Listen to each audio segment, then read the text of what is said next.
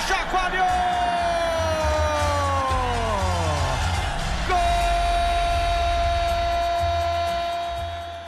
Oficialmente, o profissionalismo no futebol goiano demorou a chegar.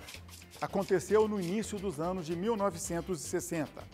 É fato que antes disso existia o que os antigos denominavam de profissionalismo marrom. Os atletas não tinham salário. Para sobreviver, conseguiu empregos públicos ou nas empresas ligadas aos dirigentes.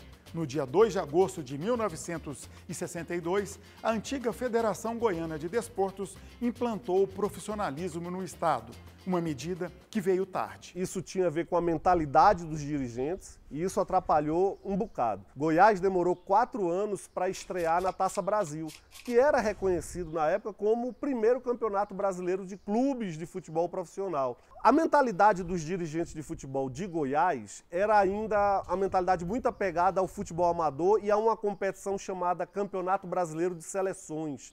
A FGF se preocupou muito em formar a seleção goiana e inscrever essa seleção no Campeonato Brasileiro de Seleções. Tudo isso ainda era da época do pensamento amador no futebol. E quando você olha o amadorismo, você olha ele desde 37 até 61. Então é aquela fase que o jogador é um jogador que joga com alma, com corpo, né? Ele não está preso ainda a uma política ligada ao aspecto econômico, economicista. Antes do decreto da FGD, alguns jogadores já atuavam de forma remunerada. No dia 5 de março de 1959, o Jornal de Notícias informava que os atletas Pedrinho e Zezinho, adquiridos pelo Vila Nova, assinaram um contrato de dois anos recebendo 20 mil cruzeiros de luvas, mais a importância de 2 mil cruzeiros mensais. E nisso, o Vila, não diria que ele é pioneiro no que diz respeito ao profissionalismo, mas ele é quem melhor entende esse primeiro giro do profissionalismo no futebol goiano. E isso faz muita diferença no início do profissionalismo, tanto em outras regiões, quanto na região de, de Goiânia, no caso. Né? O Vila, neste primeiro momento, é o primeiro clube que você tem comerciantes que vão patrocinar o clube e vão, por exemplo, pagar para os jogadores, deixar de trabalhar, não a semana toda, mas deixar de trabalhar em determinados momentos para se dedicar ao treinamento do futebol. O Goiânia se organizava, eu não sei que maneira, que as rendas eram poucas, os salários também não eram altos. E esse início do profissionalismo foi assim, profissionalismo é fulano, o outro deixa mais, que o outro é daqui.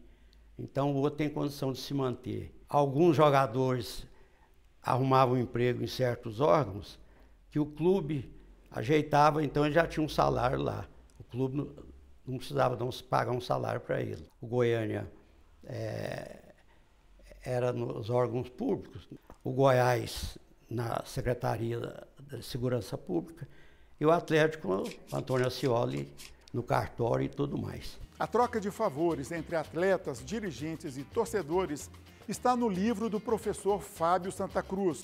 No Atlético Goianiense, tinha jogadores autorizados a entrar sem pagamento nas casas de prostituição de Campinas. Mas olha só, nem todas as trocas de favores eram tão mundanas assim. É o dono do açougue, o dono da padaria, o dono do, de qualquer comércio, que como ele se identifica com o clube do bairro, ele financia esses jogadores, pode ser até um funcionário seu.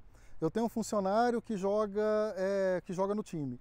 E quarta-feira, os jogos são quarta e sábado, quarta e domingo. Sexta tarde ele não trabalha e quarta-feira ele também não precisa trabalhar. Isso faz muita diferença no que diz respeito a esse primeiro movimento do profissionalismo em Goiás.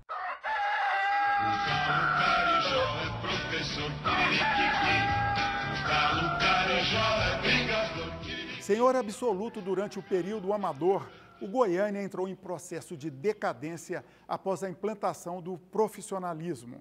Até então, foram 12 títulos contra 5 do Atlético e um do Vila Nova. Além da chegada do profissionalismo, o cenário político contribuiu para que o Galo conquistasse apenas dois estaduais desde então. Eu vejo o fracasso no profissionalismo do, do Goiânia em dois sentidos. Primeiro, político, porque nós estamos pensando em 60 e 70.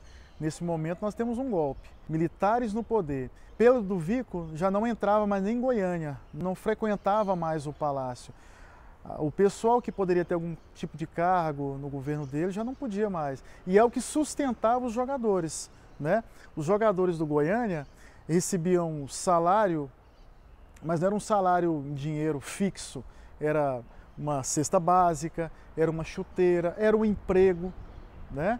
Quando o Pedro Vico deixa isso aí, o que, que vai acontecer? Esse pessoal vai ficar perdido. Chega num momento que não tem dinheiro e não tem um apoio político. Com a chegada do profissionalismo, o interior teve a sua participação aumentada no campeonato goiano. Para se ter uma ideia, em 1962, primeiro ano do regime profissional, o Goianão foi disputado por 12 equipes. No ano seguinte, saltou para 17 Desse total, oito times de cinco cidades não eram da capital. O desempenho também melhorou. O Inhumas Esporte Clube, mais conhecido como Pantera Avinhada, no início do profissionalismo esteve sempre entre os primeiros colocados, atingindo o auge em 1964 com o vice-campeonato. E o primeiro título oficial do interior não demorou, veio em 1965 com o Anápolis. Na verdade, eu tenho que confessar que eu pulei o muro do Jonas Duarte para ver o jogo decisivo do Campeonato Goiano de 65, ano que o Anápolis foi campeão. Vila Nova fez 2 a 0 e o Anápolis, de virada, 3 a 2 acabou ganhando o título de 1965. Emocionante, porque o Jonas Duarte havia sido é, inaugurado em 64 com o jogo do São Paulo contra a seleção anapolina, e no ano seguinte, veja bem, um time de Anápolis, o Anápolis, o tricolor anapolino, foi o campeão da Federação Goiana de Futebol na Série A. E as novidades no Campeonato Goiano não pararam em 1965. No ano seguinte, o Goiás Esporte, que não havia conquistado nenhum título e com uma torcida minúscula, ganhou o primeiro de seus 28 estaduais. Nós jogamos o campeonato todo, perdemos apenas a primeira partida para o Anápolis, que era campeão no ano anterior. E o resto nós ganhamos todas as outras partidas, ganhamos ou empatamos. Então eu falo que ali foi realmente que o Goiás começou a crescer. Nós éramos naquela época, e tem uma até principalmente o pessoal do Vila Nova, gosta de dizer que nós éramos 33. Eu acho que talvez nem 33 nós tivéssemos naquela época. E quando alguém pergunta assim, qual a partida mais importante que eu já joguei, o campeonato mais importante que eu participei, foi exatamente de 66. Em 1967, o interior voltou a brilhar, desta vez com o craque de Catalão, que derrotou o Atlético. A zebra passou pelo estádio Antônio Ascioli em uma tarde de domingo. Uma partida sob muita chuva, jogador marcando seu único gol no campeonato e um trabalhinho extra-campo, mas que não deu certo. Tem um depoimento de um jogador é, do Atlético à época que diz que foi oferecido à direção do Atlético que se fizesse um serviço, né? Falasse aí com os entes espirituais para fazer uma amarração e garantir que o Atlético ia ser campeão. Os dirigentes do Atlético falaram: não, esse jogo é na Campininha, estádio cheio, nosso time é muito melhor, nós não precisamos de feitiço nem de amarração nenhuma. E então essa pessoa que ofereceu o serviço disse: então o Atlético vai perder vai tomar um gol do pior jogador do craque de Catalão. O Atlético era o amplo favorito a ser campeão goiano, vem disputar uma final contra o craque de Catalão aqui no estádio Antônio Ascioli, Campinas toda parada, o chopp já estava comprado, os fogos de artifício. Tomei muitos choques, porque choveu naquela oportunidade. O Atlético havia preparado uma grande festa, chopp, lá no fundo do estádio e tal e coisa. Errou gol em cima de gol e tomou um gol do jogador do craque de Catalão que nunca tinha feito um gol. Gol do Wagner, ponto esquerda. Foi, aliás, o único gol que o Wagner fez no campeonato de 67. E foi o gol que deu o título para o craque de Catalão naquela oportunidade. O Atlético havia preparado a festa, mas teve que engolir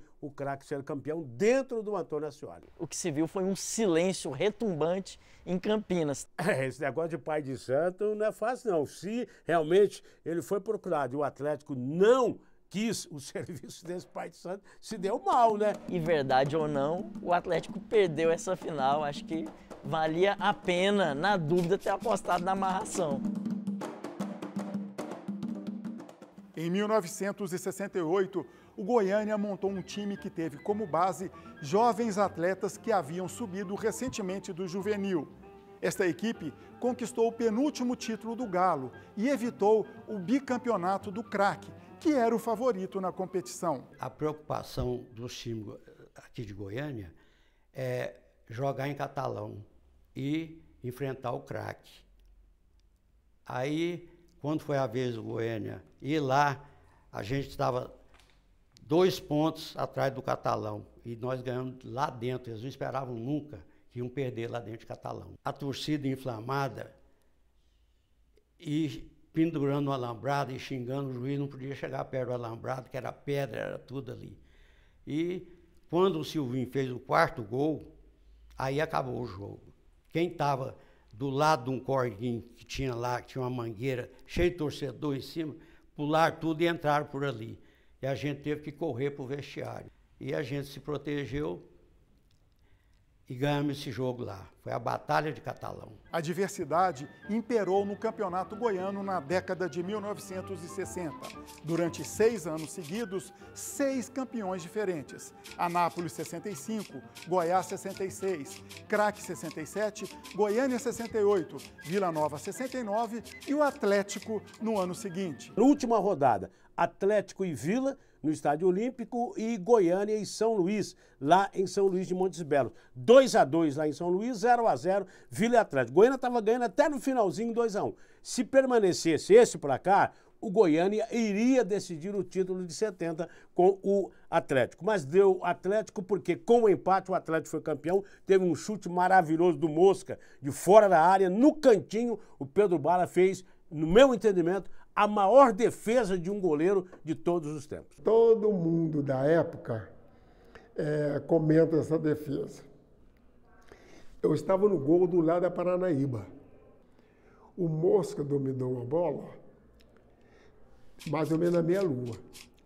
E a defesa pensou que ele ia dominar e ia entregar para o Curió, para o Guilherme. E, não. De lá, os caras pegaram a recuar um pouco ele bateu lá na onde a coruja dorme.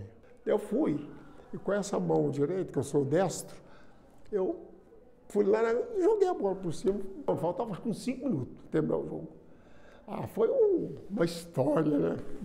Para o torcedor foi uma, uma coisa de diferente. Enquanto o Goiânia e o Atlético entravam em decadência, a maior rivalidade do futebol goiano, Goiás e Vila, dava os primeiros passos nas duas primeiras finais entre eles, em 1966 e 1971, venceu a equipe da Serrinha. Em 1973, o Vila Nova ganhou.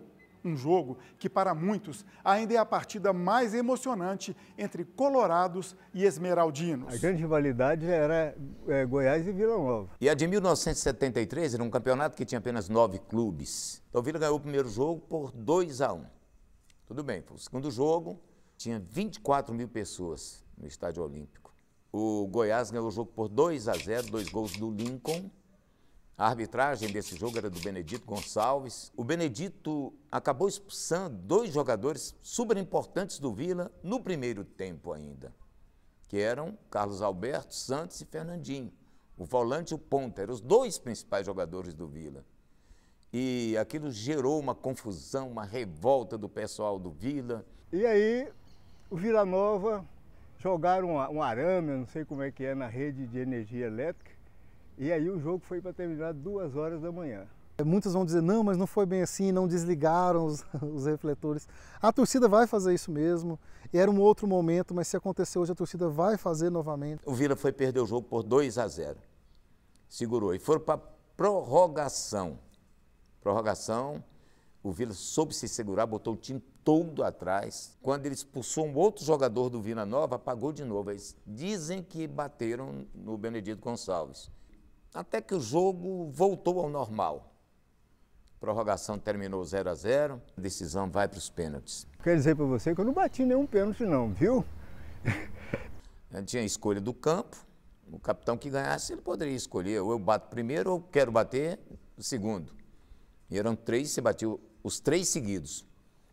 O Vila Nova escolheu bater primeiro. O Alexandre bateu primeiro, Jorge Fernandes segundo, o Andes o terceiro. Converteram todos. O goleiro era o Amauri, do Goiás. Aí o Goiás vai para a batida, já certamente tenso, não é? Porque você tem uma responsabilidade de não poder errar nenhum. Tem que bater os três, acertar para começar tudo de novo. Aí vai o Elinho para bater o pênalti. O Luizinho pega. O Benedito falou que ele tinha se mexido, mandou repetir. Ah, meu amigo, gerou outra confusão ali, vai, que a, a, começa de novo tal. O Elinho vai para a batida de novo, bate, o Luizinho pega. Aí acabou o campeonato. Foi uma derrota doída, sim, foi sim. E que até hoje os vilanovenses não esquecem. Essa foi a conquista mais importante do Vila Nova de campeonato goiano que eu vi em 54 campeonatos que eu fiz. 1974 foi o último ano do protagonismo do Estádio Olímpico e também do último título do Goiânia. Como se fosse uma passagem de bastão, o Galo venceu o Goiás, que a partir do ano seguinte seria o senhor Serra Dourada. No primeiro jogo disputado aqui nesse estádio, né, é, estádio olímpico, o Goiânia ganhou o primeiro jogo de 1 a 0. No domingo posterior ao primeiro jogo, né, o Goiânia entra em campo contra o Goiás. Logo no início, o Goiás já faz um gol. Isso abala totalmente o, a estrutura dos jogadores, da torcida. Aí vem na cabeça todos aqueles momentos que passaram a semana inteira com perturbação de torcedor, a imprensa em cima. É, e aí, passando o tempo, né, o jogo correndo, correndo, correndo. Segundo tempo, o goleiro Nils pega a bola, lança o jogador na frente, segundo ele, é, foi quase um lançamento de meio campo. E a bola chega na cabeça de Marco Antônio e o Goiânia empata o jogo. Aí isso alivia, mas o Goiás ainda vai em cima. Aí acaba, depois dos 45, um, um, jogo muito emocionante e a partir daí o Goiânia comemora o seu último título. Depois de 74 teve grandes times. Em 83, por exemplo, eu me lembro que o Goiânia montou um belo de um time com jogadores novos, jogadores da base, Rubinho, Niltinho, Dalton, só jogadores que depois estouraram no futebol, acabaram saindo do Goiânia. O Rubinho foi parar lá no São Paulo, Niltinho foi para Portuguesa, o Dalton foi para o Goiás e o Galo sobrevivendo desses atletas criados na base. 12 de dezembro de 1982. Serra Dourada. Palco maior do futebol goiano. Nas arquibancadas, mais de 52 mil pessoas. Em campo, as maiores torcidas do estado. A maior rivalidade também. De um lado, o Exército Vermelho. Do outro, a Armada Verde. Final do Goianão 82. Terceiro confronto entre as duas melhores equipes.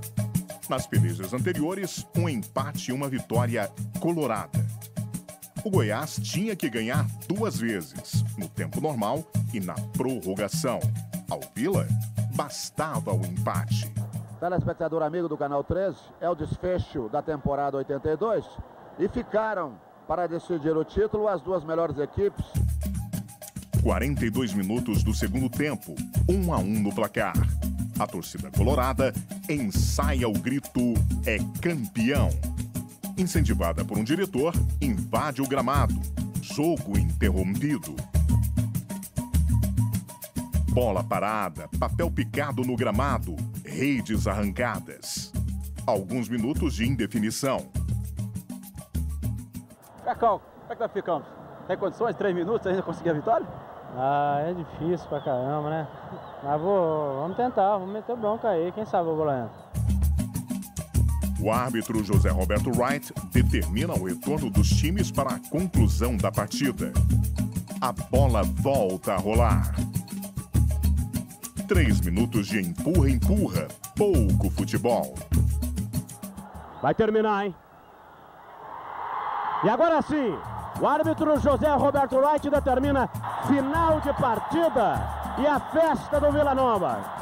Vila é o campeão goiano. Bom para o Vila, que segura o empate e ganha o décimo estadual. E aí sim, a torcida colorada pode gritar: é campeão. E também pagar promessa.